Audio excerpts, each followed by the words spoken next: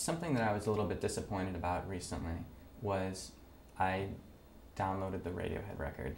Um, I signed up, I got it the day that it came out. And I got this record and I put it in iTunes and I listened to it, it's great. But a very disappointing thing was there was no cover art, you know?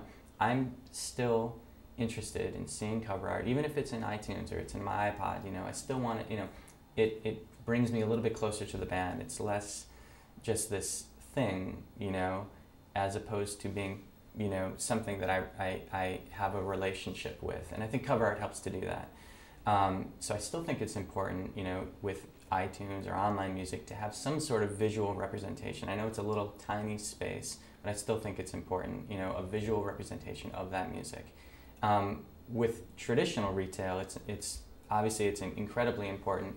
And I think, you know, if you're talking with a designer who is just looking at a, a CD cover, you have to be a little bit careful with designers because I think they're just looking to create something that's cool. But if you're looking at a cover art uh, from a marketing standpoint, there's a couple of things you got to be aware of. If a CD is sitting in a bin, um, you're only going to see the top third of the CD.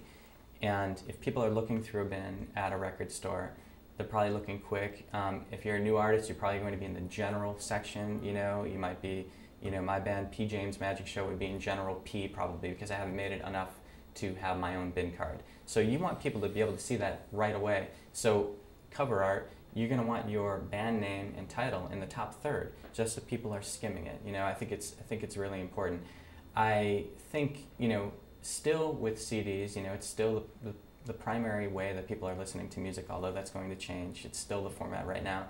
I don't recommend cheaping out on the booklet. I think you should have something in there that helps to create that emotional connection with your fan. You know, you should have some, you know, if it's lyrics, if your lyrics are really good and that's what you want your fans to know you about, I would have the lyrics in there.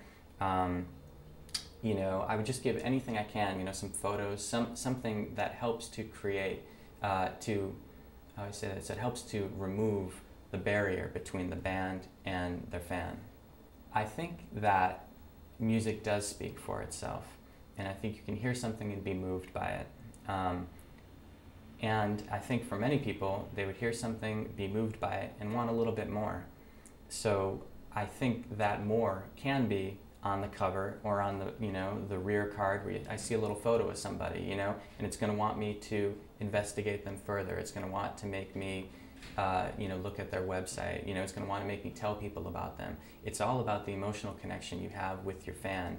Uh, so while the music is number one importance of course there should be a little bit more and I think cover art is a way to do that or your package is a way to do that